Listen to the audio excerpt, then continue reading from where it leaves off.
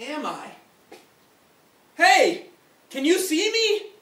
God, you have to help me. I was browsing the internet last night at iwanttosee.that.com and somehow I, I, I became sucked into my laptop and now I'm trapped. I'm trapped here on the internet apparently at a site called CommandShift3.com. Please visit CommandShift3.com and free me from this